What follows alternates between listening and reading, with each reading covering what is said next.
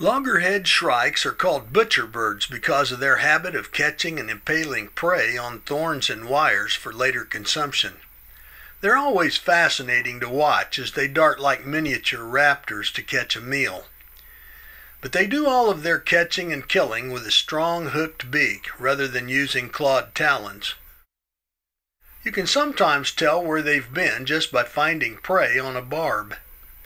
But this spring I saw a mystery I couldn't explain.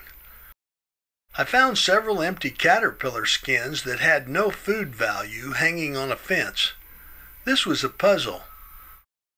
So I watched the area and I soon got my answer. Due to the cool early days of mid-April, armyworm caterpillars were the most common prey.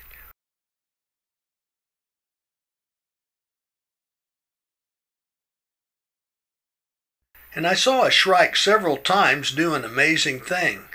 It skinned the larva.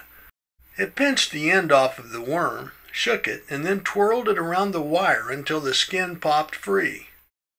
Then it ate the skinless worm to leave its empty integument hanging on the fence. This wouldn't work for all caterpillars, probably only those preparing to molt. Then the old outer skin that was separating from a new skin growing underneath could be shucked away. The shrike would discard this like we'd peel a banana before eating. Cool. I'm Mike Blair in the Kansas Outdoors.